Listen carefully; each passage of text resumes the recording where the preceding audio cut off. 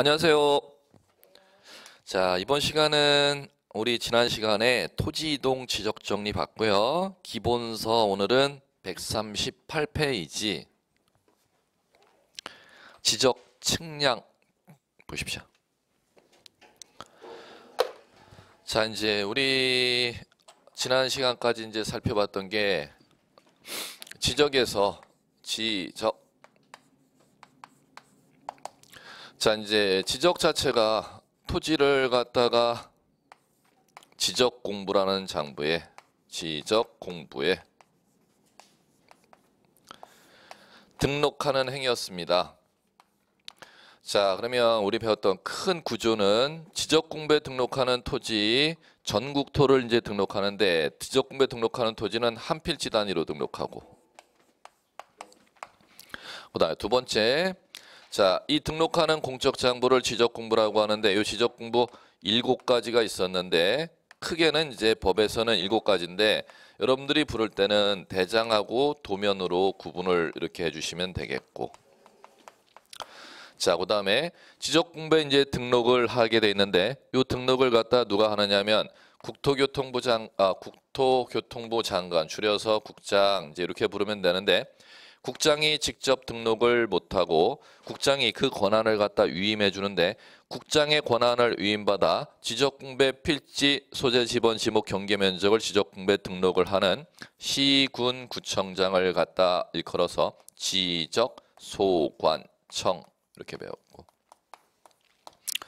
자 그 다음에 자 이제 지적 공배 요 토지 정보를 등록할 때는 자요 토지 정보에 대해서는 크게 지적 공배는 주된 정보 표시죠.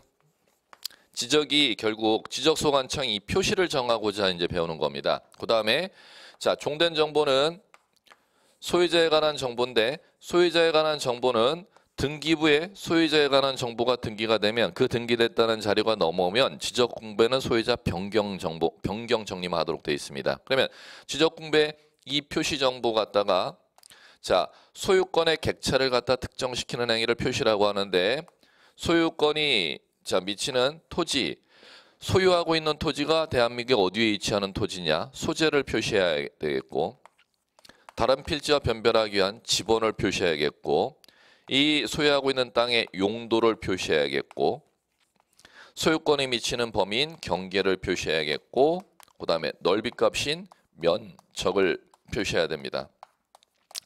그러면 소유권의 객체인 토지를 특정시키는 행위, 소재, 지번, 지목, 경계, 면적을 정해주는 행위를 자 토지를 표시한다 이렇게 부르는 겁니다. 즉 소유권의 범위를 특정시켜주는 행위를 법률용어로 토지의 표시 이렇게 부릅니다. 그럼 여기에 이제 특수적으로 지적 확정 측량 지역과 축적 변경 측량 지역은 좌표라는 정보값까지 표시를 해야죠. 자 이제 오늘은 번지수가 무엇이냐면은 이 토지의 표시 중 자 요겁니다. 자, 교재를 138페이지 이제 보시면 잠깐 보세요. 138페이지에 자, 형광펜을 들어보시고 1절 지적 측량의 의, 의 나오죠. 자, 그러면 복귀의 내용을 여러분들 눈으로 따라오시면 돼요. 지적 측량이란 토지를 지적 공부에 등록하거나 지적 공부에 등록된 경계점을 지상에 복원하기 위하여 21호에 따른 필지에 자 이제 형광펜을 곡을 치셔야 돼. 경계 또는 좌표 면적 세 가지 단어를 형광펜 치셔야 돼. 뭐, 뭐, 뭐를 정하는 측량을 말한다 그랬으니까 그 무엇, 무엇, 무엇을 정하는 게 지적지행인지를 잡아내셔야 돼요. 경계, 좌표, 면적. 자, 이제 여기를 봐주시면 지금 이거죠. 필지에 토지의 표시 중 경계, 좌표, 어, 면적, 경계, 면적, 좌표 이 세 가지를 갖다 정하는 행위를 할 때 반드시 무슨 측량을 해야 되는 지적 측량이라는 걸 해야 된다는 겁니다. 그럼 반대로 얘기한다면은 필지의 지목이나 지번이나 소재 정할 때는 지적 측량이 필요가 없고 소유자 정할 때도 지적 측량이라는 게 필요가 없다는 뜻이죠. 자, 그러면 어, 경계 좌표 면적 요거 정하는 게 지적 측량이다. 이렇게 이제 법에서 정의를 내렸으면은 자 이제 여러분들 교재 어디로 가보시느냐 어, 오른쪽에 139페이지에 중단 부분에 지적 측량의 대상 이렇게 나오는 시 하셨습니까? 그걸 형광펜 치셔야 돼. 음. 자, 그래갖고 양가로 1번서부터 교재 잠깐 140페이지까지 넘겨보십시오.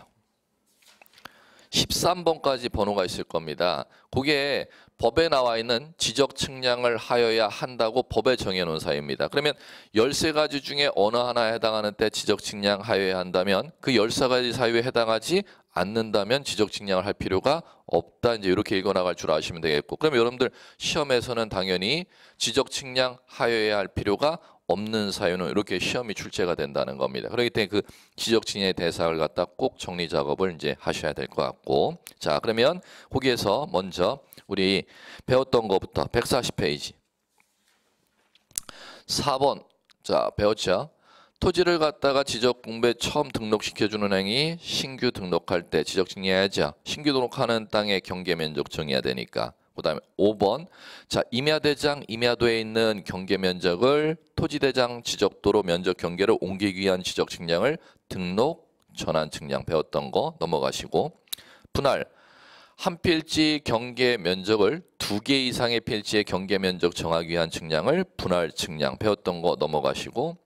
자 등록 말소 측량 토지가 바다가 되어서 지적 공부에 도면의 경계와 토지량의 면적값을 말소하기 위한 측량을 등록 말소 측량 바다로 된 토지 등록 말소 측량 배웠던 거 넘어가시고 여덟 번째 축적 변경은 지적도의 정밀도를 높이기 위해서 작은 축적의 지적도의 경계점을 갖다가 높은 축적을 이용해서 새로 측량하여 높은 쪽의 지적도의 경계점 좌표 면적 정하는 측량을 고 보시면은 축척 변경 측량 이제 이렇게 부르는 것이고 아홉 번째 등록상 정정 측량은 지적 공부에 잘못돼 있는 경계 오류가 있거나 면적에 오류가 있을 때 경계 면적의 오류를 바로잡는 걸 등록상 정정 측량 이렇게 부르는 겁니다. 자 이제 그 배웠던 거는 그대로 이제 넘어가셔야 되겠고 자 그러면 여러분들이 새로 배우셔야 되는 거. 자 열 번째 형광펜 치셔야 돼. 지적 확정 측량. 자, 요거는 자 토지 개발 사업이 완료되면은 토지 개발 사업 이제 A시에 불과하고 토지 개발 사업의 이제 대표적인 A시가 도시 개발 사업입니다. 그러면 땅을 개발하는 사업이 끝마쳐지면 개발한 지역에 땅이 새로 만들어졌으니까 새로 만든 필지의 경계 좌표 면적을 정하는 측량을 법률 용어로 지적 확정 측량 이렇게 부릅니다. 자주 납니다. 자, 그다음에 자 이제 열두 번째 어, 눈으로 가보시면 돼. 경계 보건 측량. 형광펜 치셔야지. 경계 보건 측량은 소유권의 범위를 정해주는 측량 이렇게 이제 어, 부르는데 그 옆에다 쓰셔야 돼요. 이것도 경계 보건 측량. 소유권의 범위를 정하기 위한 측량. 소유권의 범위를 정하기 위한 측량.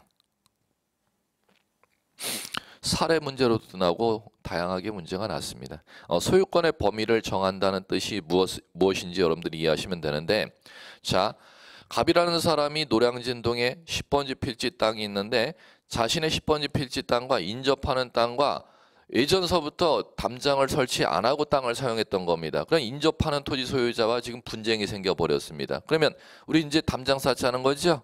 그러면 자 측량을 의뢰하면은 자 국가기관에 나와서 어디에 담장 설치해 줄지를 정하지 않습니까? 그걸 법률 용어로 무슨 측량? 그걸 경계 보건 측량 이렇게 부르는 겁니다. 시험에서 제가 얘기했던 방식으로 사례 문제가 난 적도 있습니다. 네.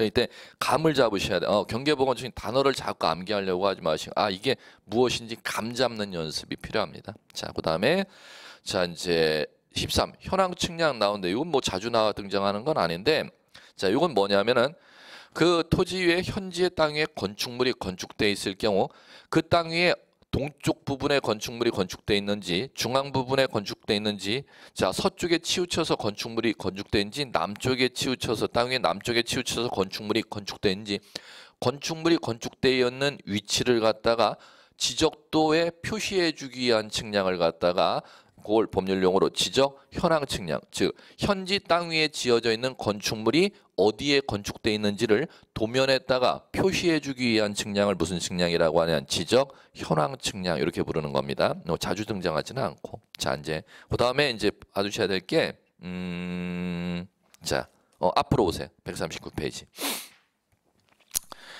자, 139페이지 보시면 이제 1번 지적 기준점 측량 이렇게 나왔지 않습니까? 예, 그건 가로 해 놓고 메모하셔야 돼요. 기초 측량. 기초 측량. 자, 기초 측량은 자 보시면 그 안에 내용 볼게요. 형광펜 드시고 이제 특별시장, 광역시장, 도지사, 특별도지사, 이하 시도지사라 한다. 나 지적소관청이 지적 측량을 정확하고 효율적으로 시행하기 위해서 자 이제 그걸 형광펜 치시면 돼요. 지적 기준점을 정하는 경우의 측량. 지적 기준점을 정하는 경우 하는 측량을 기초 측량 이렇게 부릅니다. 그럼 그걸 형광 펜 치셨으면 지적 기준점 정한다 그랬으니까 지적 기준점이라는 법률 용어 또 새로운 법률 용어 나왔으니까 지적 기준점이 이제 뭔지를 찾아가야죠. 자, 어디를 찾아가시느냐? 교재 뒤로 보시면 음. 149페이지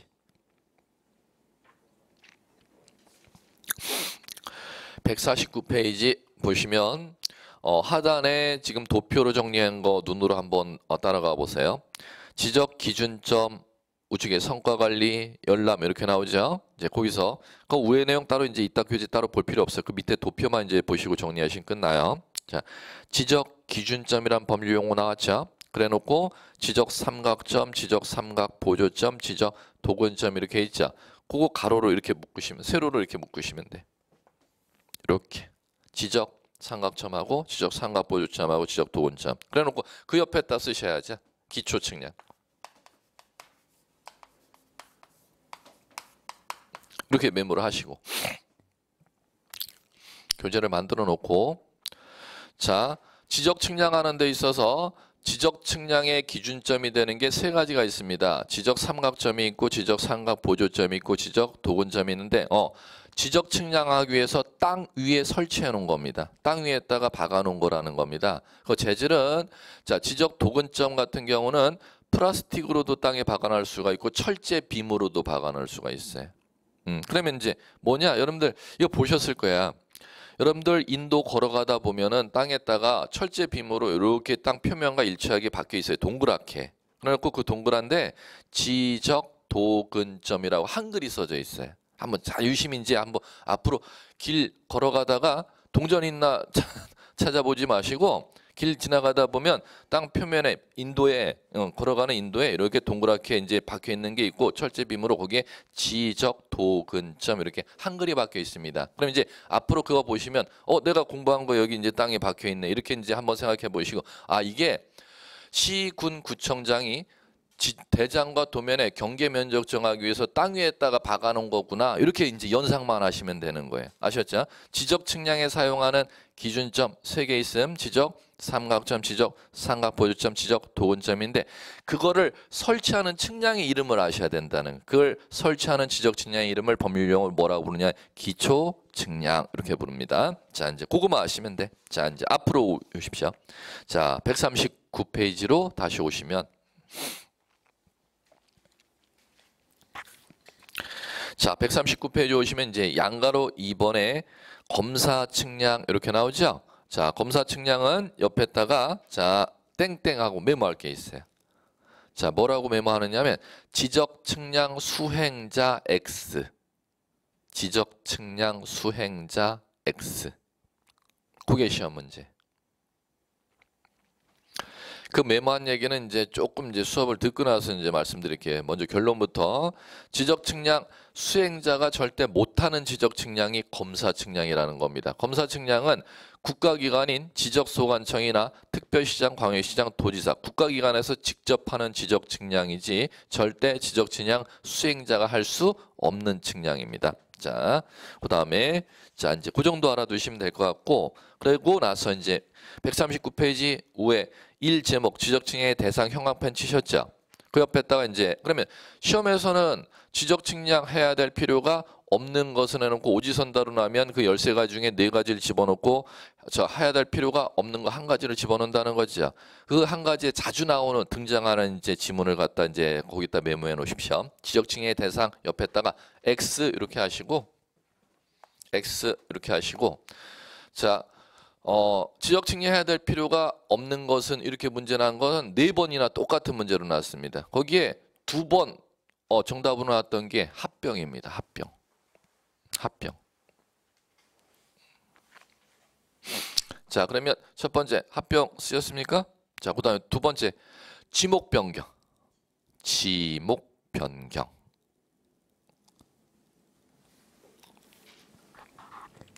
지목 변경 쓰였습니까?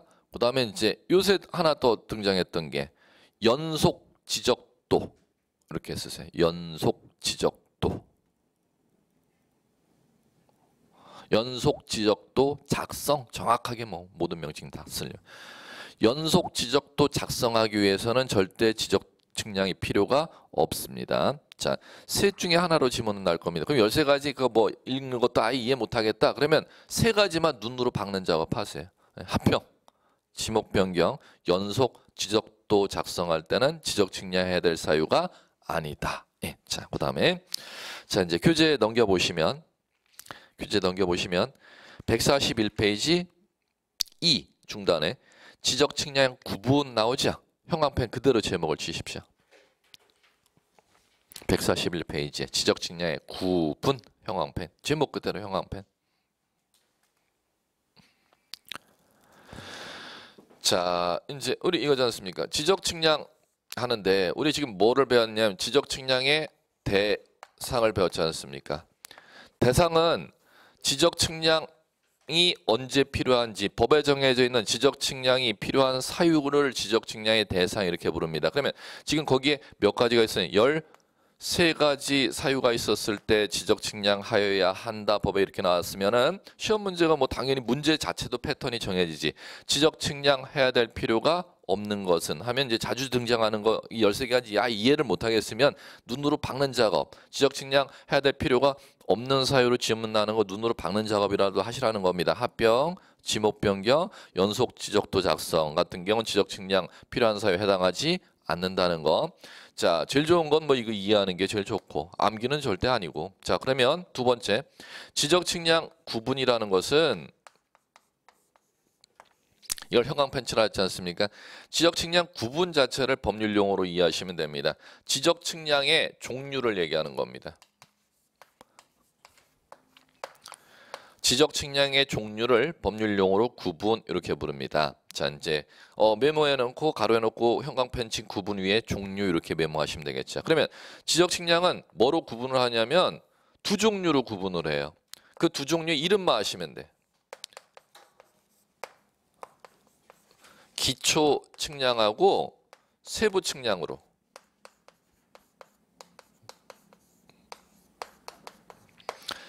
지적 측량을 무슨 측량과 무슨 측량으로 구분하는지 용어 꼭 아셔야 돼요. 예, 뭐 나중에 지적 측량은 지적 측량은 신규 등록 측량과 분할 측량으로 구분한다. 그러면 그 자체가 무슨 소리지? 이렇게 모르시면 안 된다는 겁니다. 지적 측량 구분이라는 건 지적 측량의 종류인데 자 무슨 측량과 무슨 측량으로 구분한다? 기초 측량과 세부 측량으로. 그럼 기초 측량 뭐 하는 거냐면은 지적 기준점 정하는 거예요. 지적 기준점.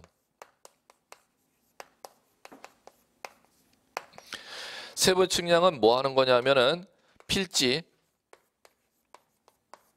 경계, 면적,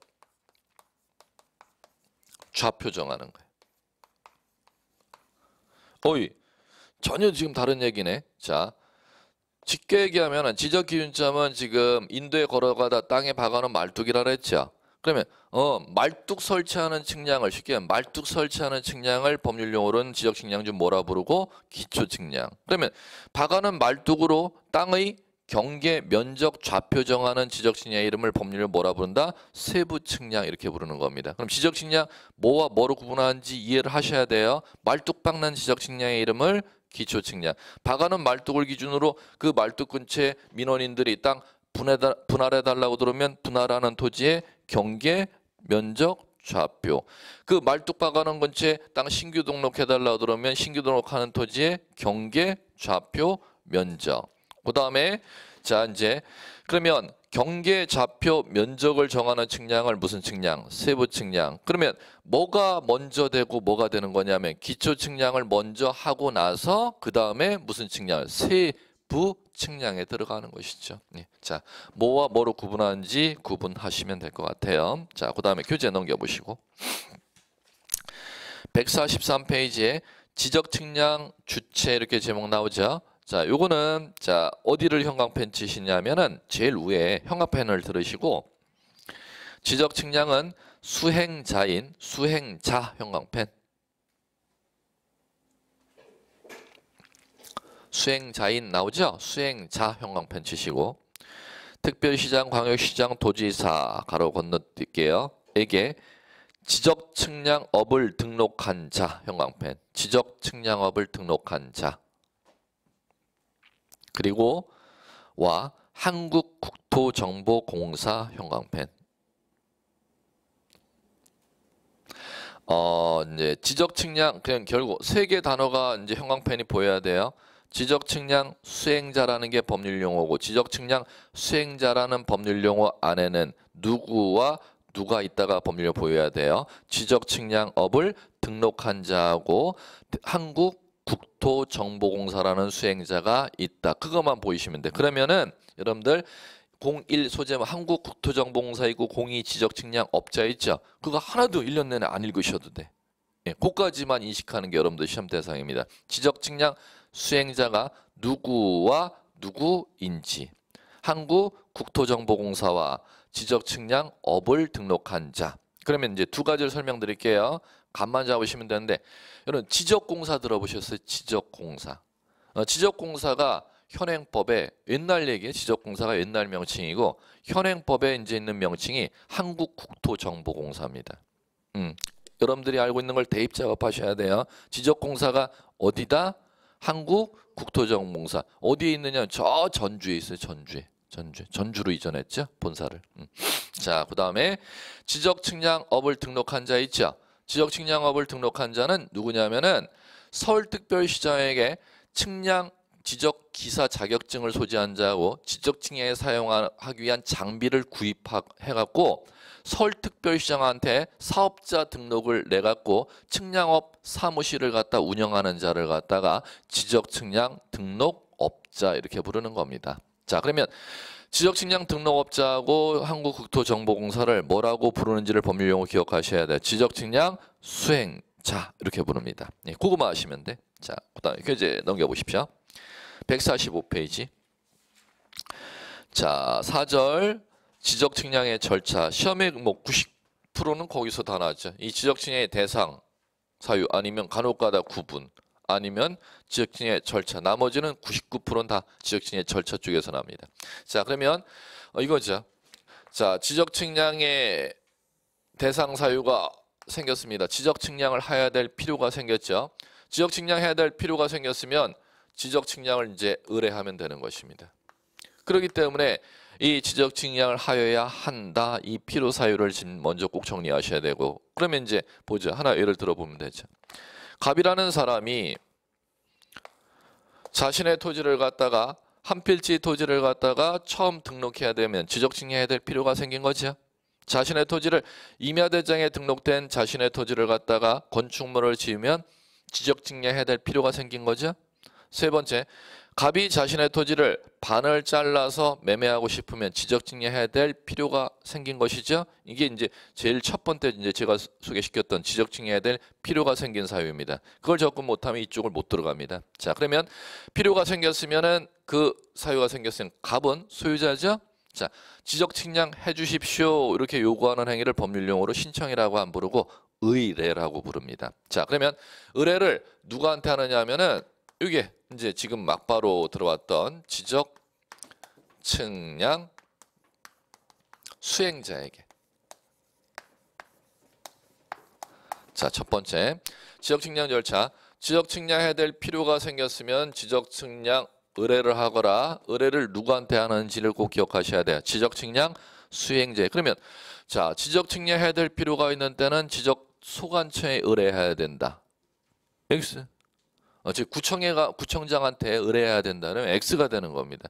지적 측량해야 될 필요가 있는 때는 서울특별시장한테 의뢰해야 된다. 이래도 X가 되는 것이고 모든 지적 측량 의뢰는 누구한테 의뢰하도록 돼 있다? 지적 측량 수행자. 그래 놓고 우리 요 절차 들어오기 바로 전 단계 수행자가 누구인지 그 단어만 꼭 박으세요. 그 안에 내용 필요가 없습니다. 그러면 이제 아직 그 용어가 안 들어오니까 여러분 들리는 용어로 자꾸 말씀드릴게요. 지적 공사. 지적공사나 지적측량업 사무실에 가서 측량을 의뢰하라는 거죠. 누구와 누구를 수행자라고 하느냐 지적측량 업자고 한국 국토정보공사에 지적측량을 의뢰하라는 겁니다. 구청에 가서 의뢰하는 게 아니고 구청장한테 의뢰하는 게 아니고 자 그다음에 자 그러면 지적측량 의뢰가 들어오면은 수행자는 수행자는 그것을 갖다가 의뢰 들어왔죠. 들어왔으면 자 두 번째 수행자는 의뢰 들어오면 그 다음 날까지 의뢰 들어온 다음 날까지 자 누구한테 가느냐면 지적소관청에 가야 돼요. 시군구청 지적과에 들어가야 된다는 거죠. 자 그 다음 날까지 여기 들어가서 뭐 하느냐고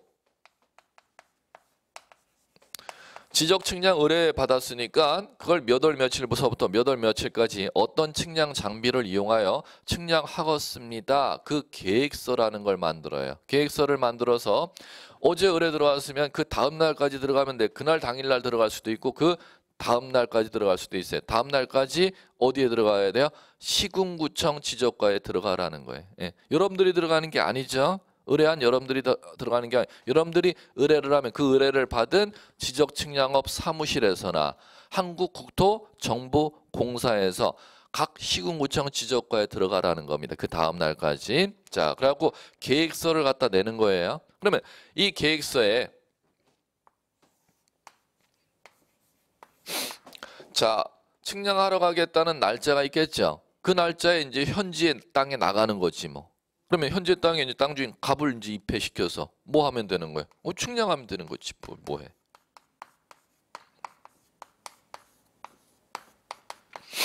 현지 땅에 나가서 이제 소유자 갑을 갖다가 이제 입회시켜서 이제 뭐 해주면 된다? 지적 측량해 주면 되는 거예요. 그러면 요 지적 측량하면은 자요 측량 결과물이 나옵니다. 그걸 자 성과 이렇게 부르는 거예요. 지적 측량 성과.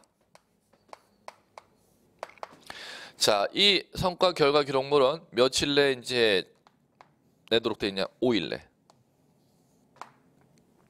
그러면 이 성과 결과 기록물을 갖다가 자, 누구한테 제출을 하냐면은 지적 소관청에 제출합니다. 그러면 지적 소관청은 이 수행자가 제출한 측량 성과를 갖고 현지에 자 이제 다시 측량하러 가요. 그걸 검사 측량 이렇게 부릅니다.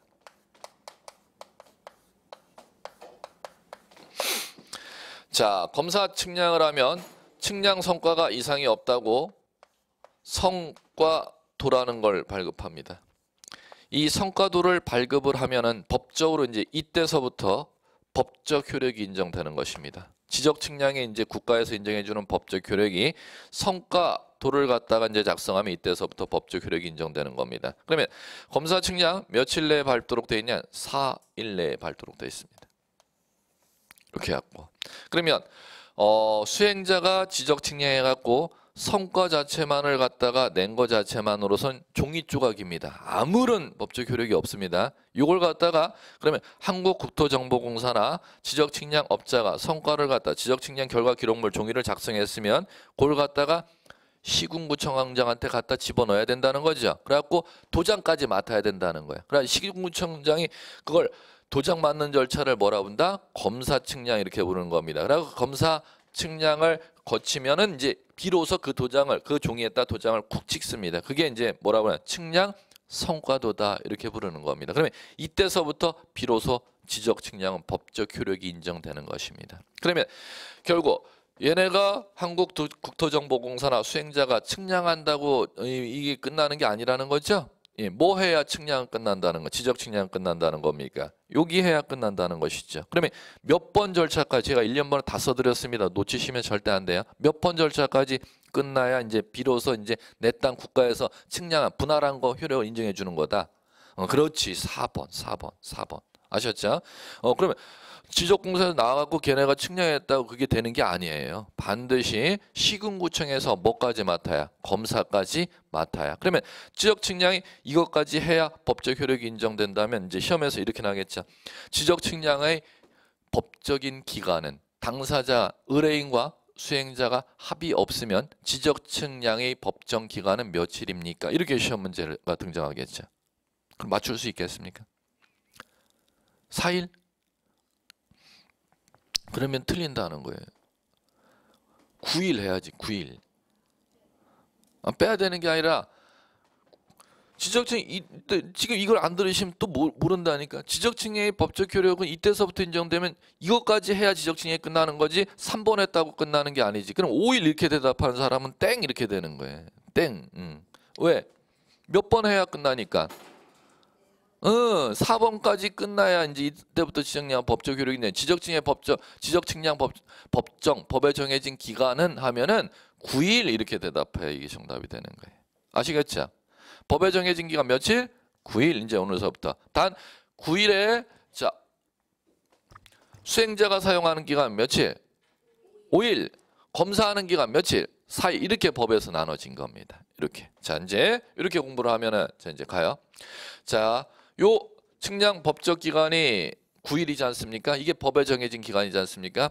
요거를 사용 안 하고 사용 안 하고 자 의뢰인과 수행자가 합의를 한 때는 합의한 기간으로 간주한다 이렇게 돼 있어요. 그러면 법적 측량 기간인 9일을 갖다 사용 안 하고 측량을 의뢰할 때 수행자 의뢰인과 측량 기간 자 합의를 안 하면 법적 기간 9일인데 합의를 하면 그 합의 기간으로 인정해 준다는 거죠 법에서. 그럼 만약에 20일로 이렇게 합의한 때는 자 합의한 며칠이 측량 기간이래요. 20일이지 법정 법에 정해진 기간 9일이 아니라는 겁니다. 합의 기간으로 본다 이렇게 돼 있다는 겁니다. 아시겠죠? 어, 아무것도 아니. 그러면 자 가요. 그러면 계속 들어가. 계속 이제 찔러 들어가요. 합의 기간으로 본다 이렇게 돼 있는데 자 합의 기간에 4분의 3은 측량 기간으로 4분의 1은 검사 기간으로 간주하거라 법에 이렇게 되어 있습니다. 그러면 합의를 기간을 20일로 한 때는 측량 기간을 며칠로 사용을 하고 20일의 4분의 3은 15일을 측량 기간으로 사용하고 검사하는 기간을 며칠을 사용하거나 5일을 사용하거라 법에 이렇게 되어 있다는 겁니다. 그러면 이제 없이 단답으로 법조문 지문 내는 문제 형태 9일 이렇게 정리하시면 되겠고 합의할 때는 합의할 때는 뭐요? 사례 문제 사례 문제로 준비 이렇게 들어가시면 되겠지. 그럼 문제 유형은 뭐 최상의 난이도까지 뭐 다 했죠. 뭐 기본 문제 단순 숫자 5 더하기 3 묻는 거 심화 이게 뭐 이 심화라고? 심화 이 산수도 아니잖아요. 예, 예. 이게 심하면 뭐 심하지 뭐 심한 문제는 이상 문제가 없는데 합의한 때는 합의 기간으로 측량 기간으로 간주하되 며칠은 4분의 3은 측량 기간, 4분의 1은 검사 기간. 그럼 사례로 이렇게 기간 합의 기간을 뚝 떨어뜨리고 시험 문제 내는 거. 이렇게 이제 얘는 유형 두 가지밖에 없어요. 음. 자, 그다음에 자 이제 어 이렇게 하면 이제 마무리가 되는 것이고 자 이제 그다음에 이제 보셔야 될 게 자, 요 검사 측량을 거쳤죠. 그럼 검사 측량을 거치면은 자, 뭐가 나오냐? 성과도 나오죠. 이 성과도를 누구한테 내주는지를 한번 독립적으로 시험 문제 냈습니다. 성과도를 갖다 작성했습니다. 누구한테 발급을 할까요? 이렇게 시험 문제 냈어요. 지적, 소관청 검사 측량을 거치면 측량 성과도를 누구한테 발급할까요? 성과 제출한 놈한테 내면 되지 뭐 이렇게 하면 되지 뭐. 그럼 의뢰인한테 발급한다 이러면 땡 이렇게 되는 거예요. 의뢰인, 의뢰인이 뭐 성과를 갖다 제출했나? 누가 냈어요? 그렇지. 성과도는 누구한테? 수행자한테 발급하는 겁니다. 누구한테요? 수행자. 그러면 수행자가 의뢰했던 누구에게? 의뢰인에게 이렇게 뭐 하는 것이냐? 식량 성과들을 교부하는 것이지요. 그러면 다이렉트로 직접 이렇게 가면은 안 된다는 얘기예요. 예, 이렇게 이제 가시면 끝이죠. 의뢰했고 성과도 교부해서 나왔으면 모든 절차 다 끝났잖아요. 이제 그러면 갑은 비로소 이제 뭐 하러 들어가는 거냐면 시군구청에 이제 토지 이동을 신청하러 들어가면 되는 겁니다. 한 번 절차 한번 가볼까요? 갑이 자신의 땅 임야대장에 등록된 땅 건축물 지었어요. 등록 전환 신청해야겠죠. 그걸 토지 이동 신청이죠. 그런데 등록 전환은 지적 측량해야 될 필요가 있는 때에 해당하니까 토지 이동 신청하러 못 들어가죠. 등록 전환하러 뭐 하러 가야 된다. 지적 측량하러 먼저 가야죠. 그래갖고 측량 의뢰를 수행자에게 했죠. 그럼 수행자가 측량하면은 성과가 나오면 그걸 시군구청장에게 제출하죠. 시군구청장이 검사하죠. 그러면 등록 전환 측량 성과도 발급했죠. 그럼 측량 성과도 발급하면 수행자에게 발급해서 내주죠. 그럼 수행자는 이제 의뢰인 등록 전환 측량 의뢰했던 의뢰인 갑에게 측량 성과도 교부해 주지요. 그러면 이제 의뢰인 갑은 이제 비로소 어디에 들어가면 된다. 시군구청장에게 등록 전환을 신청하러 가는 행위를 이제 지난주에 배웠던 토지 이동 신청하러 들어가면 되는 겁니다. 어 그러면 아 이제 지적 다 끝났는데 우리 이제 실무적으로 땅을 본인의 땅에 대해서 지적 민원 신청하러 구청에 들어가는 행위를 토지 이동 신청이라고 하는데 지난주에 토지 이동 신청 배웠는데 토지 이동 신청하러 구청에 들어가는 게 먼저네 아니면 측량하러 수행자한테 가는 게 먼저네. 시- 어, 오늘 배우는 게 그 토지 이동 신청하는 지난주에 전 단계 얘기입니다. 실무적으로 얘기하면 이 측량을 하고 나야 성과도가 나와야 비로소 이제 시군구청에 자신의 땅을 정리하러 가는 토지 이동을 신청하러 들어갈 수가 있는 겁니다. 그러면 시험 한 문제 더. 갑이 이제 시군 측량 성과도가 교부돼서 나오지 않습니까? 그러면 시군구청에 갑이 이제 들어가는 게 토지 이동 신청이라고 하는 거죠. 자, 이제 이 시험에서 이렇게 묻는다는 거죠. 토지 이동 신청 시에는 측량 성과도, 등록 전환 측량 성과도를 첨부하여야 한다. 이렇게 묻습니다. 시험에서. 갑이 시군구청에 토지 이동 신청하러 들어가는 때는 자 수행자한테 교부돼서 나왔던 등록 전환 측량 성과도를 첨부하여야 한다 이렇게 낸다는 거예요. 맞을까요?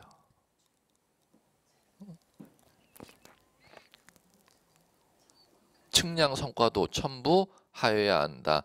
쉽게 그냥 대한지적공사에서 나온 소리 아직 용어가 안 들리니까 한국도정부서라면 안 들리니까 자꾸 용어 대입하시면 돼요. 공사에 대한지적공사에서 나왔던 서류가 지금 뭐가 나왔어요? 측량 성과도죠. 예, 그거 갖고 들어가야 된다. 구청에 들어갈 때. 그러면은 X라는 거예요. 왜 X냐고 이걸 안 듣고 받아 적은 분은 지금 또 뭔 소린지 이해를 못해. 놓친 분은.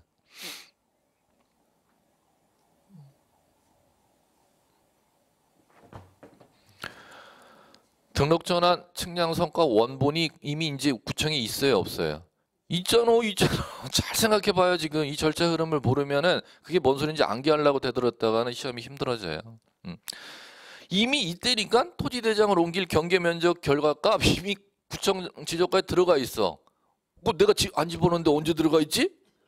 뭘 언제 들어가 있어? 대한지역공사에서 이미 집어넣어줬는데 이해해 보세요. 그런데 토지 이동을 신청할 때 토지 이동을 신청하러 갑이 이제 구청에 들어갈 때는 측량한 그 결과 법적 효력이 있는 그 효력이 이제 이렇게 측량 법적 효력이 있어 그 종이 측량 성과도라고 하는 겁니다. 예, 그거 갖고 들어갈 필요가 있어요, 없어요? 없어요. 왜 없어요? 이제 하면 이미 공사에서 구청에 집어넣어 줬어. 나는 그거 갖고 들어갈 필요 없어. 이렇게 이해를 하셔야 된다는 거예요. 이제 뭐만 갖고 들어가면 돼요?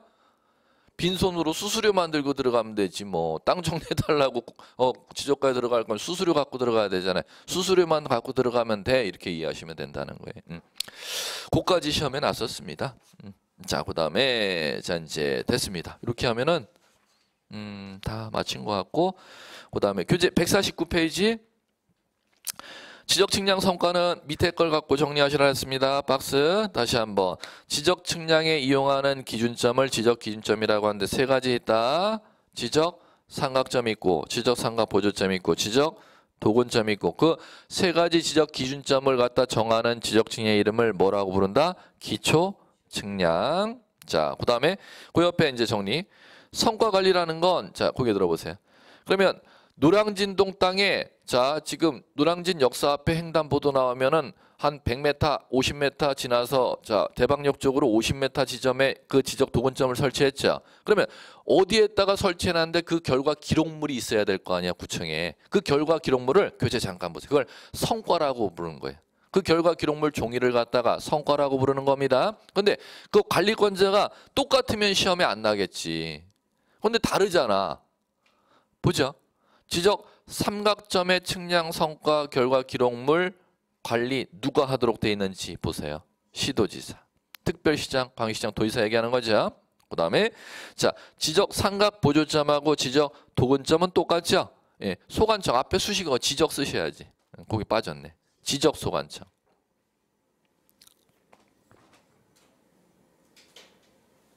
지적 소관청.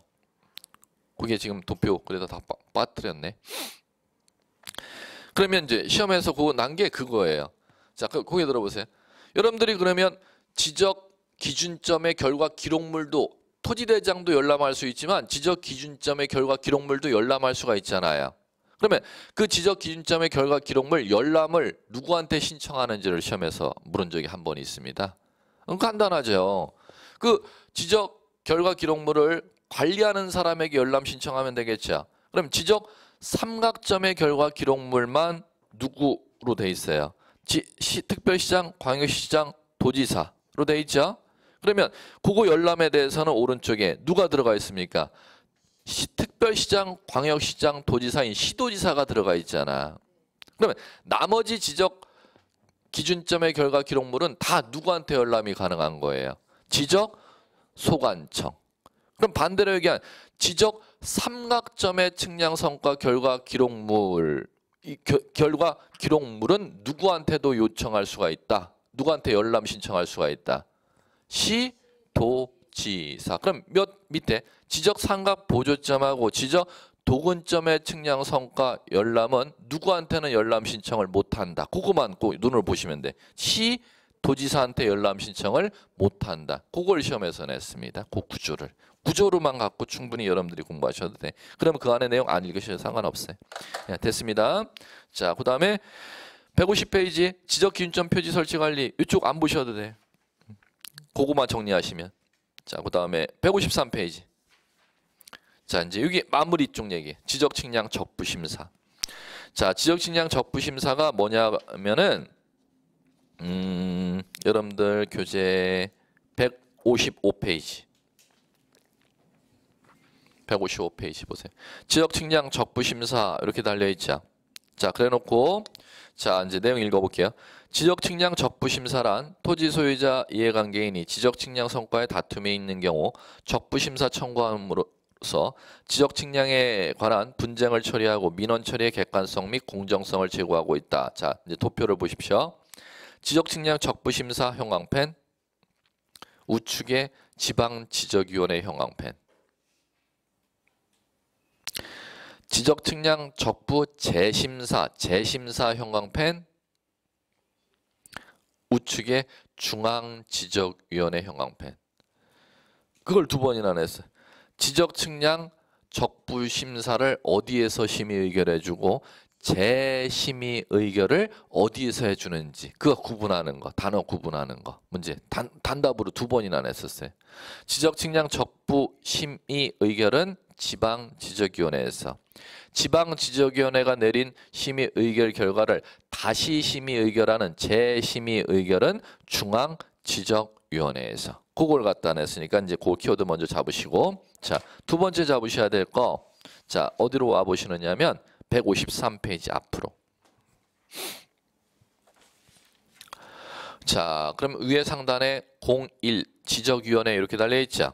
자 거기에서 형광펜 잡으시고 지적 측량 성과 적부 여부에 대해서 심사 청구 사항을 심의 의결하기 위해서는 국토교통부 형광펜 중앙지적위원회 형광펜 특별시 광역시도 특별자치도 이하 가로에 시 도 형광펜 지방 지적위원회 형광펜 어이 그것도 시험에 한번 물었습니다. 지방 지적위원회가 어디에 있고 중앙 지적위원회가 어디에 있는지 그걸 갖다 구분하는 시험 문제를 냈습니다. 지방 지역위원회 시군 구에 들어요. 특별시 광역시 도에 두래요. 특별시 광역시 도에 두도록 돼 있대요. 지방지적위원회 시군구에 두는 게 아니라 그 다음에 자 중앙지적위원회는 어디에 두래요? 국토교통부에 두래요. 국토교통부에 예, 그걸 구분하시면 됩니다. 자 됐습니다. 그래놓고 155페이지 이제 나머지 자 이제 갑니다. 나머지는 자 이제 요겁니다.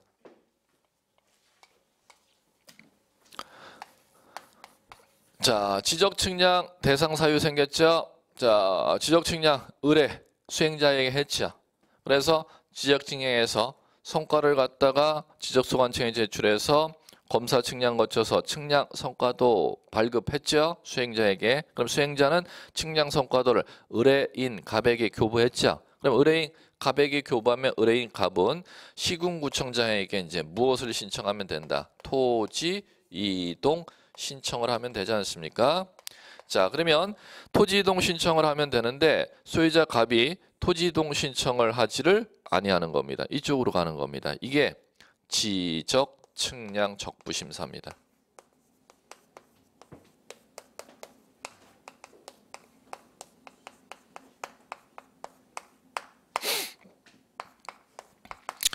자 그러면 소유자 갑은 수행자로부터 무엇이 교부돼서 나왔는데 측량 성과도가 교부돼서 나오면 이거 법적 효력이 있는 걸 알지 않습니까? 그걸 갖다 못 받아들이겠다는 겁니다. 그러면 토지동 신청하러 가면 돼야 안 돼요? 안 되죠. 왜? 토지동 신청했다는 그 법적인 효력대로 경계 면적을 정리해 주게? 그러니까 그 측량한 게 마음에 안 든다는 거예요. 그 법적 효력이 있는 게. 그러면 그걸 갖다가 이제 다시 한번 적법한지 부적법한지를 심사 요청하는 걸 법률용어로 지적 측량 적 부 심사 청구 이렇게 부르는 겁니다. 자 이제 지방 지적위원회죠. 그럼 지방 지적위원회 어디에 있다 그랬습니까?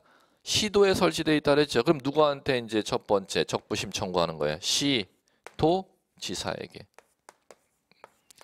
시도지사에게 적부심 청구하는 겁니다. 자 그러면 시도지사는 자신의 소속하에 있는 지방 지적위원회 줄여서 지지위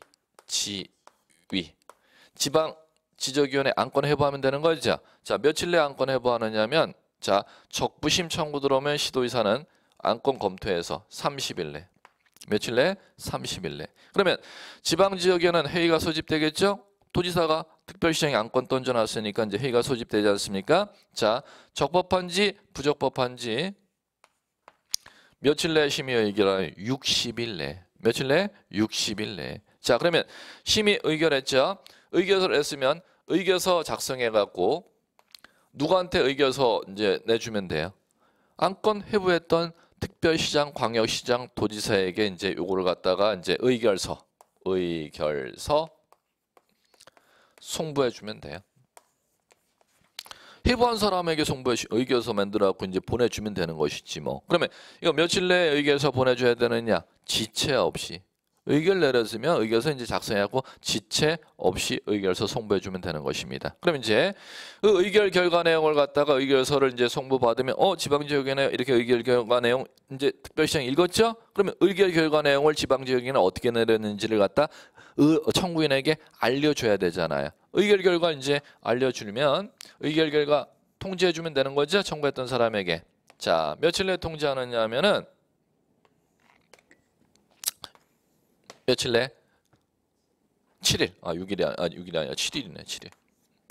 7일 내에 통지해 주면 되는 겁니다. 네, 순서대로 꼭 기억하셔야 돼요. 순서대로. 어, 30일 형광펜을 치는 이유가 없기 때문에 제가 이걸 형광펜 안 쳐드린 겁니다.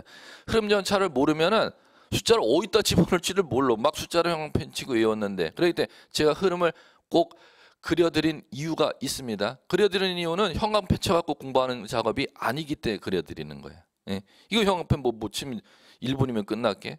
이 흐름을 모르면은 숫자를 어디다 집어넣을지를 모르기 때문에 제가 일일이 써드린 거지. 자, 다시 한번 적부심 청구 누구한테?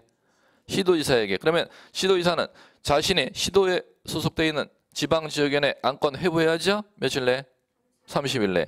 그러면 회의 소집되겠죠? 안건 던져놨으니까 회의 소집되면 며칠 내 심의 의결?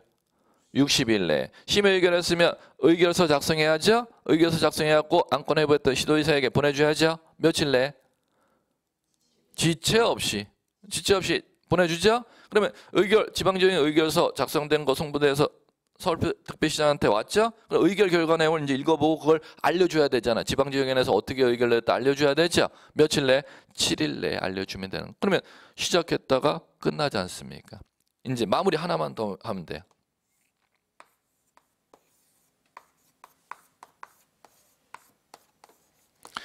의결 결과 내용을 이제 청구인이 통지받겠죠. 자 이제 여기까지만 가면 끝이에요. 이 다음은 없어요. 자 그러면 지방지적위원회 자 의결 결과가 아 네 땅 하자 없이 제대로 측량한 거야. 적부심 청구했더니 하자가 없대. 그러면 그 지방지역위원회 의결 내린 거 그 결과 내용을 서울특별시장으로부터 통지받았잖아요. 그게 못 받아들이겠다는 겁니다. 그러면 재심 청구할 수 있어요. 그럼 재심 청구는 자 유기하면 끝이. 며칠 내에 하는 거다?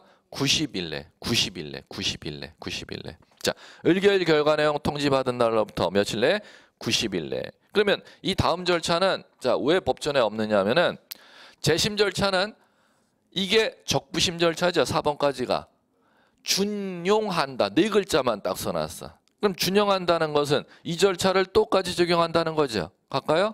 재심 청구 누구에게? 아니지. 아, 왜 아까 키워드를 자꾸 갔잖아.